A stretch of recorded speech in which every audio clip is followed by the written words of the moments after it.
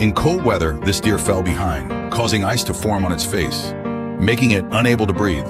When the man found it, the deer lay motionless on the ground. Sensing its life might be in danger, the man immediately began the rescue operation. Carefully soothing the deer's emotions, he swiftly cleared the ice from its nose and mouth. Sensing it could breathe, the deer became excited, breathing in the fresh air eagerly. The man continued gently and precisely, removing the ice covering the deer's eyes one by one. As its vision restored, the deer realized it was the man who saved it. With gratitude in its eyes, it ran off into the snowy field. The man thought this encounter would end there, but to his surprise, the next day, the deer returned with its family to thank the man. Moved to tears, the man couldn't believe the impact of his kindness. From then on, no matter where the man went, he would always encounter this deer waiting nearby, like his personal guardian, ready at all times.